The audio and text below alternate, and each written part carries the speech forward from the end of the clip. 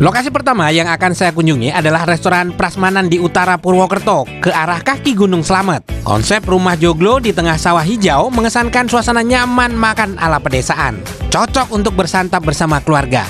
Yuk kita lihat sajian apa aja yang ditawarkan di restoran ini. Wow nih ya, ini memang waktunya makan siang. Nah, kalau makan siang nih gini, alhamdulillah ya. Wah, ada yang punya tuh di sana. Nanti kita nanya ya. Nah, di sini uh, prasmanan ya kan, asik. Ambil sendiri ya. Ah, siap. Siap. Pak, oh, CEO-nya doyan makan, asik. Nah, gitu dong. Kelihatan subur sama kayak Benu ya. Ini apa, Mas? Ini Karangasem Mas Benu. Karangasem ya? Ya, silakan coba Mas Benu. Nah, untuk Aromanya sedap Ini Endoknya udah. Oh, yes, dalam ini. ya, ah. Siap. Oke. mau se- eh, ger- apa lodeh? Lodeh dong, tetap pasti Lodeh, ya. mau yes. Ah, ah. Saya siapin Mas Benu. mas, aku Gimana? ngobrol dulu sebentar. Siap, siap. Eh, apa? Sebenarnya ini konsepnya seperti apa? Ya. Dan ini kan saung-saung gitu nyebutnya Iya, kalau di ini. iya. Ini Hmm. gerai lodeh ini cukup jauh dari kota, sekitar 5 kilo dari kota. Oh. Jadi tempatnya agak dingin, cuma ini panas ya kayaknya. agak sejuk. Ah. Kita naik ke arah Batu Raden. Kenapa? Konsepnya adalah makan prasmanan, makan enak, nggak terlalu mahal, tapi ada view pemandangan sawah dan sebagainya. Oh iya, sawah ada gunung juga ya katanya. Iya, nanti kalau pagi-pagi kelihatan gunung Sana sawahnya. ya? Iya mas. Waduh, cakep ya. Kalau menu-menu autentiknya yang dikeluarin di sini apa, Mas? Eh, yang utama adalah ger- apa yang pasti lodeh ya ada Hmm. berbagai macam aneka lodeh kemudian ada gerehnya dan megono mas nah Megono ya? makanan tradisional tradisional Wow, cakep nih. kemudian Iya, di. Karangasem Oh ini pasti nih ya. iya. Wuhu.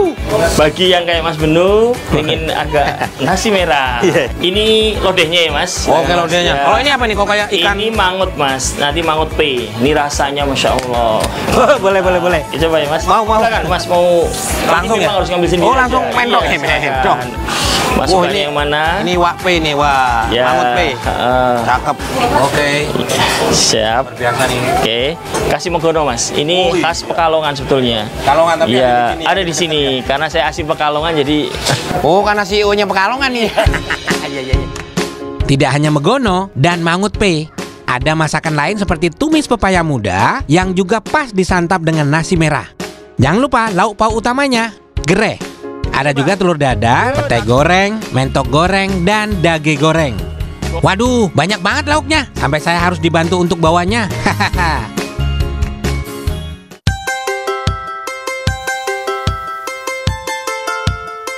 Nah ini dia nih, ini apa makanan rumahan, berasa kayak pulang ke rumah. Lagian ada gazebo-gazebo ini seru banget ya. Terus ini nih nih, kenapa dibilang grey ya ini nih. Ikan asin. Ini yang istimewa sebenarnya ada beberapa, tapi memang tradisional semua ya. Makanan rumahan semua. Ini ada dage. Dage itu saudaranya bongkrek. Dari ampas. Ampas apa ya? Eh, saya cobain dulu deh.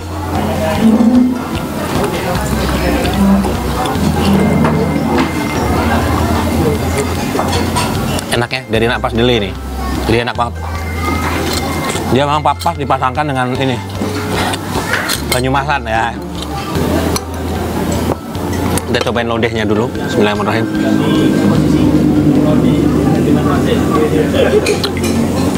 waduh cakep nih lodeh nih jadi santannya tipis malah anu kalau di lidah bener tuh anu, apa aroma ini yang dapat ini aroma ebinya yang enak banget dapatnya kalau untuk bahan-bahannya nih lihatnya ada ini ada labu Jepang, terus ada kacang panjang, terus ada ini melinjo nih, ya kan? Nih, ini dia dari daun melinjo juga ada.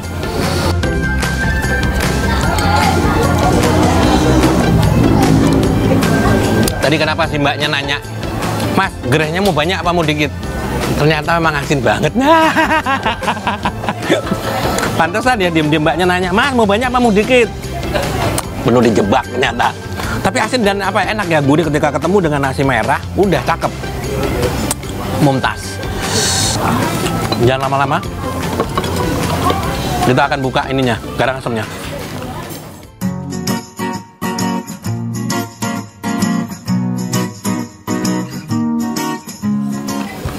Nah, kalau aromanya nggak usah ngomong lagi. Ini daun salam. Jangan salah ini bukan daging ya. Lengkuas. Iya kan takut salah nanti. Nah, kalau isiannya ya namanya garang asem ya. Kalau nggak ada belimbing wuluh gini mah ya bukan garang asem ya. Garang banget. Ya. Oke, kita cobain dulu kuahnya. Bismillahirrahmanirrahim. Ay, cantik ya, cantik banget ini. Garang asem ini mirip dengan garang asem khas Kudus. Perbedaannya hanya ada pada penggunaan belimbing wulu ketimbang tomat hijau. Rasanya pedas dan asam segar. Ada satu lagi yang istimewa, mangut P. Jadi sebenarnya kalau mangut P ini, Menu pernah nyoba di Surabaya, namanya iwak P. Sama persis ya ikan pari ya. Tapi bukan pari yang dilindungi, ini pari, pari umum-umum yang dapat di pasar banyak. Ini dia. Di sini dimasak mangut gitu ya.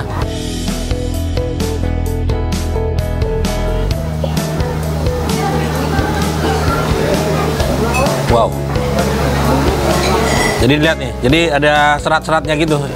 Mangut tuh gini modelnya. Berserat gitu ya.